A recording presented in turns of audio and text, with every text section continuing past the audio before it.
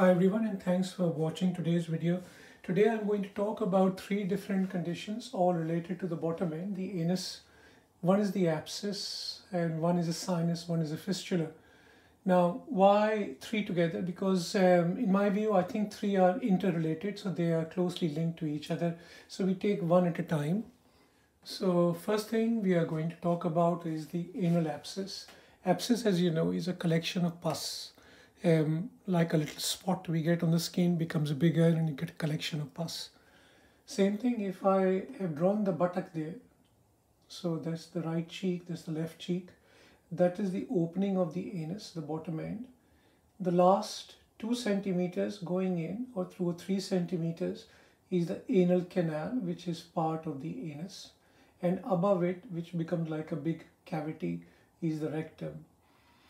So the thing we are focusing about is around the anal area. Now there are two ways of developing an anal abscess. Either it can develop or start very close to the skin. So the first thing they get is a small bit of infection, redness, usually very tender. So if you sit on it, it's going to hurt. You touch it, it's going to hurt and becomes a little red spot in the bottom end and they usually appears because of infection in a hair follicle because we all have hair on the bottom end and one of them gets infected. Now there are two, three things that can happen to it. Either one of the things is it will settle down after a day or two. We sit in a bath, uh, keep it tidy, clean, it settles down. If it's not settling down, we might get a course of antibiotics and hopefully it will calm it down. However, sometimes we don't do anything about it it grows and grows and grows and becomes a big big pocket of pus. So it contains yellow gunky stuff as we have all seen in our lives with infection.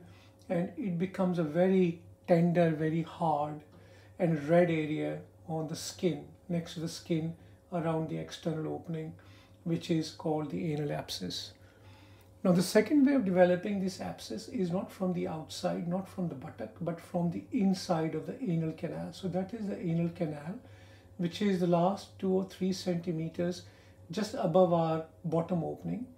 Again, a little spot appears inside. So when we go to the toilet, it hurts. Um, if we touch it, it hurts. And this usually happens because infection in one of the glands inside the bottom is called the anal gland and because it's not a clean area, poo goes past it, so it's very difficult to keep it clean. Again, two or three things happen can happen to it. One thing that can happen is it uh, remains um, untreated and settles down on its own. We have a course of antibiotic, go to the doctor and settles down on its own. The third thing that can happen is it grows and it does not settle down and becomes a big pocket of pus. But this time it's not close to the outer end, but it's close to the inside. So the only way of knowing that there is a pocket of pus in there is to examine from inside, either with a finger or with a camera or whatever other way of feeling it. And that is the way uh, to diagnose an anal abscess. These abscesses, um, early ones can be diagnosed on the outside quite easily, just looking at it or feeling it or touching it. However, inside ones, because they're not visible on the outside, bit more tricky to diagnose and can sometimes require a scan like an MRI scan or something of the bottom end to diagnose an internal anal abscess. What else can happen to the anal abscess? So now we got a pocket of pus either close to our skin or on the inside. It's not being treated. So sometimes what happens, that nature takes its course. Like we get a spot on the skin, sometimes it bursts and the pus comes out. Same thing happens down here sometimes these abscesses they burst. You can see it bursting out on the skin because this is close to the skin and uh, all the pus and everything comes out. And what it does because everything all the gunk has come out and the pressure is gone the pain tends to settle down or becomes much less than it was before. Same thing can happen with the internal anal abscess. This can burst on the inside of our bottom and that way what happens? Suddenly the pressure goes away and the pain becomes much less. And you can, people sometimes pass pus with emotions, uh, gunk comes out, yellow stuff comes out, and that makes the abscess settle down. Sometimes what can happen is these abscesses, they can become much bigger. So it's like a big abscess, pocket of pus inside, whether it arises from the outside or from the inside. Most frequently from the inside and they become quite big and they can burst both on the inside of the bottom and on the outside at the same time. So now we come to our second topic, which is um, the anal sinus and the third topic, which is the anal fistula and what is the difference between the two. So before we go and talk about the anal sinus and a fistula, we're just going to try and explain what a sinus means and what is the difference between a sinus and a fistula. So I've drawn a little hill over here, like a little mountain, and I'm trying to dig a tunnel from one side of the mountain to the other side. Like we go in a train, go into a tunnel, or in a car, we go into a tunnel. So we have got hole on one side of the mountain, which is the entrance, and on the other side, which is the exit. However, at the moment, the tunnel is only blind. It's not connected to the other side. So if you go in, you can't go anywhere. If you go in on this side, we can't go anywhere. So it's a blind ending tunnel. So sinus is a blind ending tunnel. It hasn't connected to the other side as yet. So that is a sinus. So this leads us to the concept of fistula. Now what is a fistula? Now you can see the same tunnel. I can go in from one side and I can come out of the other side. So the two ends are connected to each other. So this surface of the mountain is connected to this surface of the mountain. So the openings are on two outer sides or two outer surfaces of the mountain. So when the opening is through and through and connecting two different surfaces, it is called a fistula. Now fistulas can happen anywhere in our body and we'll talk about those as we go along. We spoke about them in my previous videos in Crohn's disease, etc. However, we're going to talk about them in the future when we come to different parts of the body again. Today we are just going to talk about a sinus or a fistula in the anus, the bottom end. But remember the concept of it, fistula goes through and through on two sides, two surfaces, from one surface to the other. Sinus goes only halfway or a little bit inside and then stops, can't go any further because there is no connection between the two ends.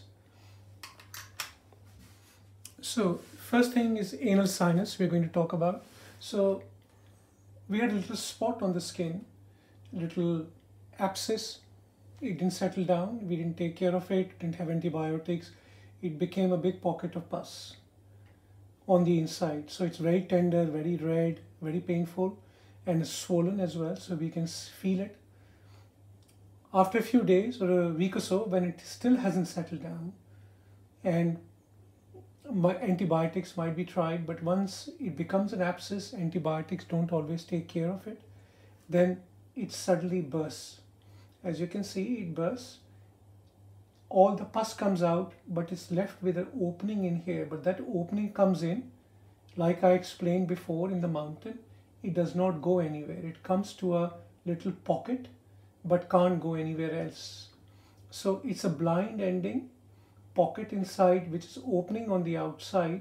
So the patient can feel next to the external opening, next to the anus, a little um, like a hole next to the bottom and through which when they squeeze or when they go to the toilet, pus comes out or sometimes blood, little bit of blood comes out. And that is called an anal sinus. Now next thing is what is an anal fistula as I explained before in the mountain, if the tunnel is going through and through and is touching the both sides or two different sides of the mountain, then it is called a fistula. Now you can see, started with a little spot, became a pocket of pus. That pocket of pus became bigger and bigger, did not get resolved or did not settle down, burst on the outside. So there's an opening on the outside and also burst on the inside. It can burst either inside the anus or it can burst even higher up into the rectum.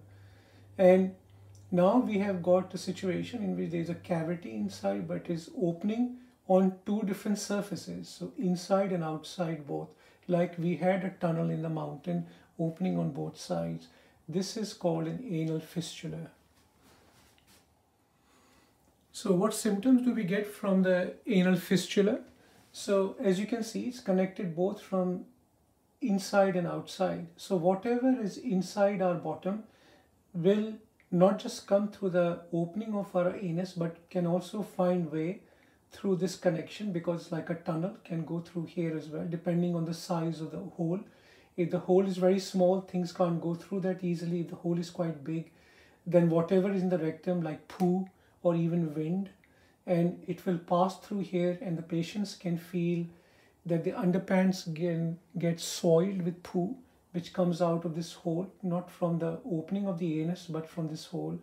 And also sometimes they pass wind through it, so bubbles of air come out. Sometimes blood comes out as well, but bleeding is never a major issue.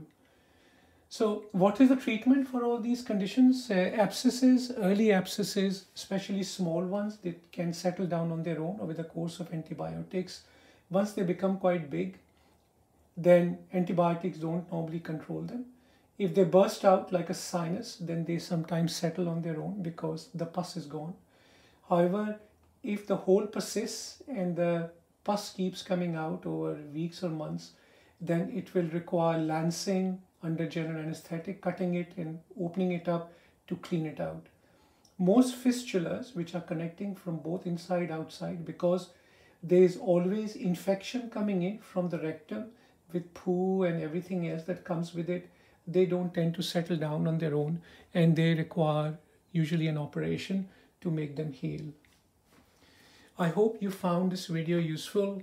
If you have any questions, please leave them in the comment section and I'll do my best to answer those questions the best I can. Thanks again for watching and please remember to subscribe and click the bell icon. Thanks for watching.